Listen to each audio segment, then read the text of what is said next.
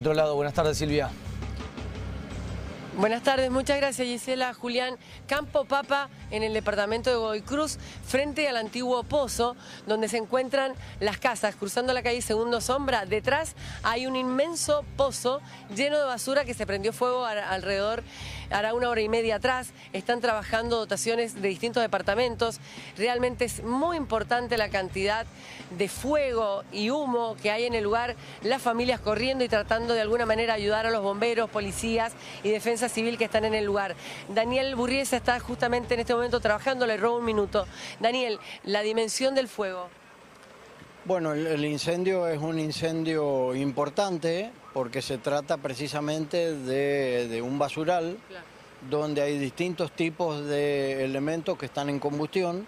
Eh, en estos momentos está, el incendio está controlado, eh, se está trabajando eh, a fin de evitar cualquier tipo de, propagación. No hay casas afectadas, como se ha dicho. El fuego está muy cerca de las casas. Están muy cerca, sí, efectivamente, están muy cerca. A dos metros más o menos. Mm, un poco más. Pero eh, no hay viviendas afectadas.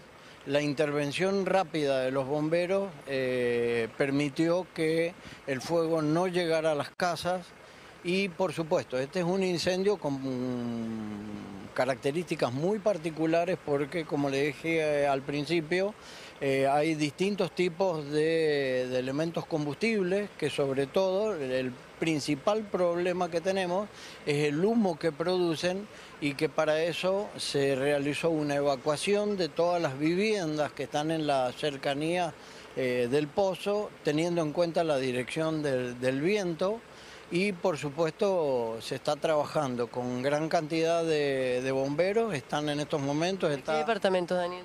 Bomberos de Luján, de Godoy Cruz, de Maipú y cuartel central de la, de la policía, eh, están trabajando... Apoyo hídrico de Godoy, y apoyo hídrico de Godoy Cruz, que no está, no está faltando nada, y tenemos dos máquinas del, del municipio que están trabajando, una del lado oeste donde se está removiendo escombro y otra está trabajando del lado este del pozo donde también eh, el proceso es lento porque hay que hacer remoción, eh, mojar, remoción, mojar, porque el fuego, eh, si se echa solamente agua, el fuego queda por debajo de, los, de, la, de la basura, de los escombros y eso no... no es un pozo muy profundo, ¿verdad? El pozo es bastante profundo, sí. ¿Y de, una dimensión aproximada? Bueno, no, no sé en Enorme por el humo, es verdad. Es un pozo importante que va cambiando según la...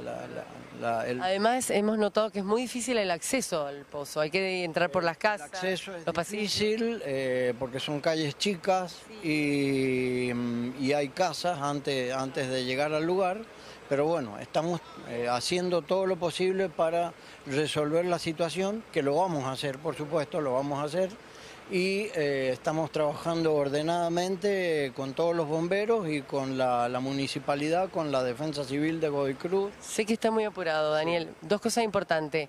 Las personas de acá están evacuadas, no hay gente en las, en las casas, el humo está muy cercano. ¿Están bien de salud? Las personas han sido evacuadas por una cuestión de eh, evitar la inhalación de humo, eh, por esa sencilla razón. Y la mm, posibilidad de, que el fuego afecte las casas eh, ya no la, no la tenemos. Esa era la segunda pregunta. ¿Los bomberos cómo están? Los bomberos están bien, han tenido que hacer reposición de equipos autónomos de respiración porque se necesita... O sea, máscaras. Sí, tuvo los tubos de oxígeno para, poder respirar aire puro para evitar eh, intoxicación. Ya se ha hecho un, recambio de, equipos, eh, que es lo que se está haciendo a fines de evitar también eh, que tengan una exposición al humo los bomberos y, y que tengan problemas. No hay ningún afectado. No hay ningún afectado. Muchísimas gracias, Daniel. gracias a ustedes, que tengan bien. Gracias. Bueno, lo dejamos trabajar. Bueno, Daniel Burriesa es el director de Defensa Civil de la provincia, también está Defensa Civil de Godoy Cruz. Hemos visto también que trabaja la gente, los familias eh, tirando agua. llegamos hasta muy cerca al fuego, lo que más pudimos, porque de verdad el humo es tan denso que no permite dimensionar la cantidad, o sea, el tamaño del pozo.